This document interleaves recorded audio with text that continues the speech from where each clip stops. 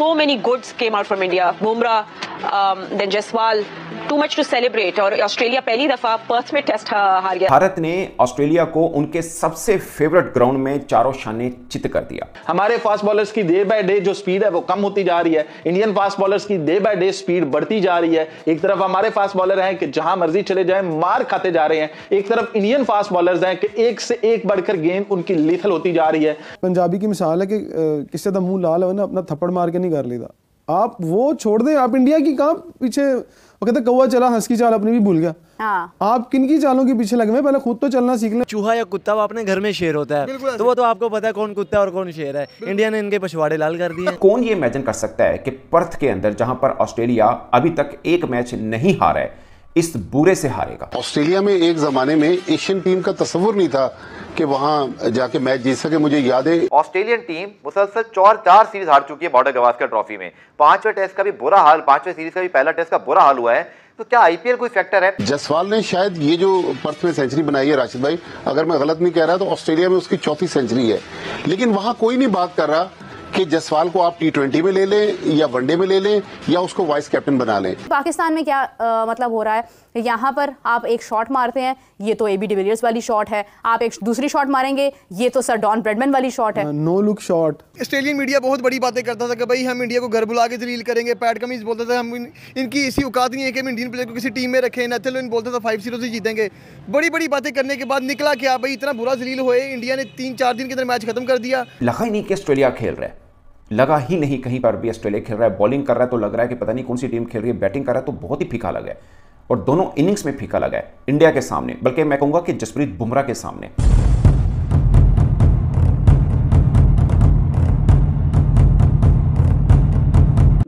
पुराने ज़माने में टीम इंडिया अपने बल्लेबाजों के दम पर कोई मैच जीता करती थी, लेकिन आज वही भूमिका भारत के तेज गेंदबाज निभा रहे हैं। और यही देखने को मिला बॉर्डर गावस्कर टेस्ट सीरीज़ के पहले मैच में, जब टीम इंडिया के बल्लेबाज मात्र 150 रनों पर ढेर हो गए तब टीम इंडिया के गेंदबाजों ने कमान संभाली कि आज पाकिस्तानी और ऑस्ट्रेलियाई मीडिया कहीं मुँह दिखाने के काबिल नहीं बची।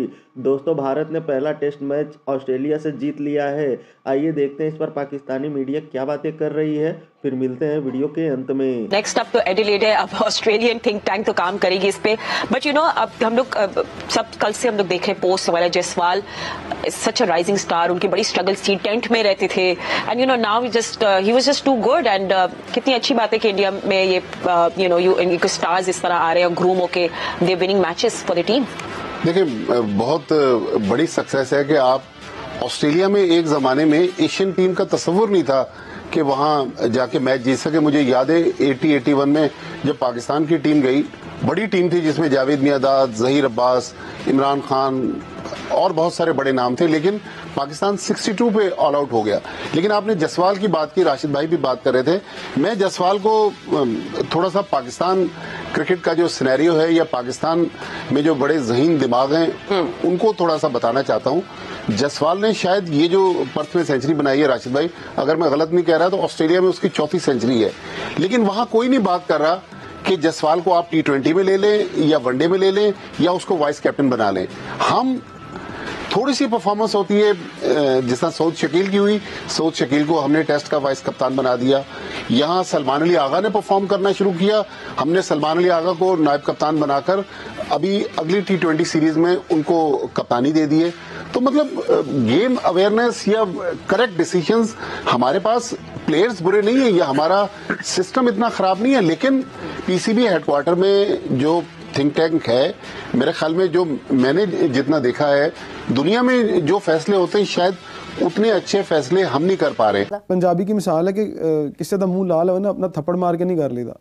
आप वो छोड़ दें, आप इंडिया की कहा पीछे वो कहते कौवा चला हंस की चाल अपनी भी भूल गया। हाँ। आप किन की चालों के पीछे लगे पहले खुद तो चलना सीख लें भाई। विराट कोहली के बारे में अभी मेंशन हुआ कि उन्होंने सर डॉन ब्रेडमैन का रैकेट भी तोड़ दिया सचिन तेंदुलकर का रैकेट उन्होंने पहले ही तोड़ दिया हुआ था। लेकिन ये जो रिकॉर्ड तोड़ने की बात है ना विराट कोहली अगर किसी का रिकॉर्ड तोड़ता है और रिकॉर्ड बनाता है ना रिकॉर्ड ब्रेक करता है तो वो सुन के अच्छा लगता है। बिकॉज़ उसके पीछे एक पूरी क्रिकेट है एक पूरी बैकग्राउंड है इतने साल का एक प्रोसेस है वही प्रोसेस है जिस प्रोसेस से सचिन तेंदुलकर सचिन तेंदुलकर बने जिस प्रोसेस से से कोई भी प्लेयर जो है वो बनता है वही प्रोसेस फॉलो किया विराट कोहली ने। तो जब वो कोई रिकॉर्ड ब्रेक करते हैं ना तो वो समझ आता है कि यस यार he deserve to break any record and he deserve to make any record for anybody else लेकिन पाकिस्तान में क्या आ, मतलब हो रहा है यहाँ पर आप एक शॉट मारते हैं ये तो ए बी डिविलियर्स वाली शॉट है। आप एक दूसरी शॉट मारेंगे ये तो सर डॉन ब्रेडमैन वाली शॉट है। नो लुक शॉट अगर हम टेस्ट मैच से एक दिन पहले जाते हैं तो ऐसा नहीं लग रहा था कि इंडिया बहुत स्ट्रांग टीम है।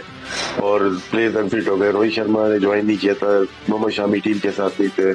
शुमन गिल अनफिट हो गए। तो तीन मेन प्लेयर्स जो कि पास में इनका, इनकी टीम का हिस्सा रहे हैं।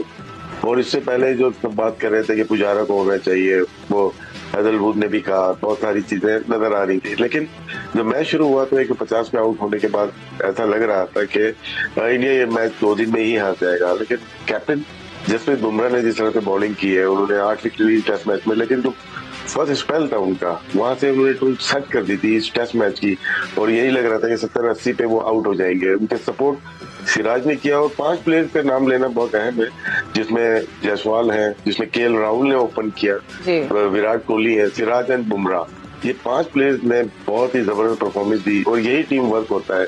और यहाँ से ऑस्ट्रेलिया मेरे ख्याल से गलती है कि ग्रीन पिच पे उनको बड़ा मुश्किल होती है। वो हार्ड एंड बाउंड पिचेस पे खेलने की आदि है। लेकिन जब से ये नया स्टेडियम बना है और जब से गवस्कर और बॉर्डर सीरीज़ हो रही है टू थाउज़ेंड फोर्टीन सिक्सटीन में या फिफ्टीन में लास्ट टाइम ऑस्ट्रेलिया जीता है, उसके बाद दो होम दो अवे दोनों ही इंडिया जीता है और ये बहुत इंटरेस्टिंग है क्योंकि यहाँ से इंडिया अगर तीन मैचेस और जीतता है टेस्ट मैचेस तो डब्ल्यूटीसी में फाइनल में पहुँच सकता है। बहुत ज़बरदस्त और देखने वाली सीरीज़ है ये। जी एब्सोल्युटली आई थिंक हम लोग सब बहुत इन्वेस्टेड है सीरीज़ में। एंड बट वैसे आज के दिन आपको क्या लग रहा था with Australian batters I mean आपको लगा इनको ट्रबल करी थी को इन डिफरेंट बाउंस आपको क्या लग रही थी कंडीशंस पिच तो कल ही खराब हो गई थी जब उनके ट्रैक कल शाम को खुलना शुरू हो गए थे।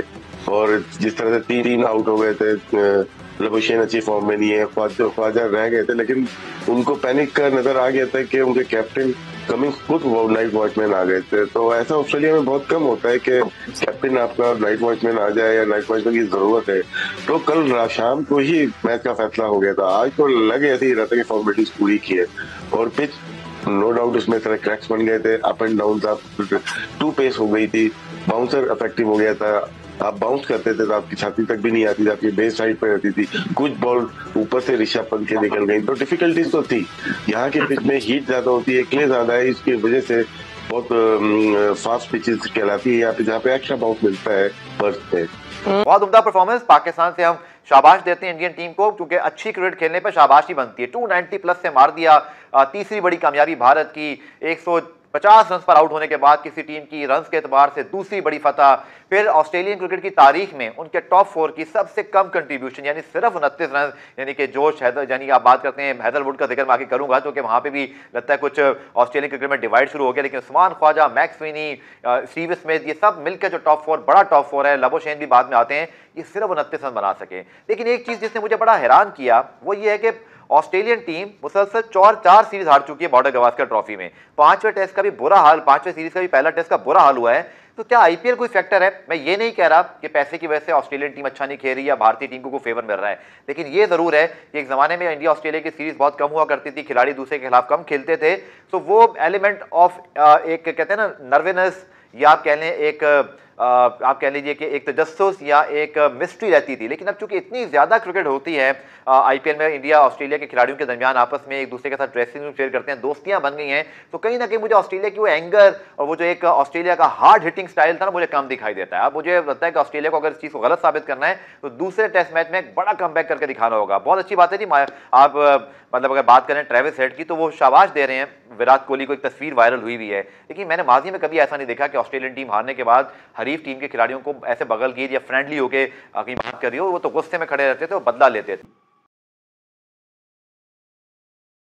दोस्तों, जब टीम इंडिया के बल्लेबाजों ने मात्र 150 रनों पर ही अपने हथियार डाल दिए, तब पैट कमिंस काफ़ी उछल रहा था और उसे देखकर पाकिस्तानी मीडिया भी काफ़ी उछल रही थी और ये कह रही थी कि जिस तरह से न्यूजीलैंड ने भारत आकर भारत को ही हराया, उसी तरह आज ऑस्ट्रेलियाई टीम भी भारत का वही हसर करेगी। लेकिन टीम इंडिया के गेंदबाजों ने मात्र एक घंटे के अंदर ही पूरा गेम ही पलट कर रख दिया। और आज उन्हीं पाकिस्तानी एंकरों की बोलती बंद हो गई। दोस्तों, भारतीय गेंदबाज जसप्रीत बुमराह ने ऐसी घातक गेंदबाजी की जिसने कंगारुओं की कमर तोड़कर रख दी। दोस्तों, ये टेस्ट सीरीज़ शुरू होने से पहले ऑस्ट्रेलियाई खिलाड़ियों को काफ़ी गुरूर था, लेकिन भारतीय टीम ने उनके गुरूर को चकनाचूर कर दिया। दोस्तों, वीडियो में अंत तक बने रहने के लिए धन्यवाद। मिलते हैं अगले वीडियो में।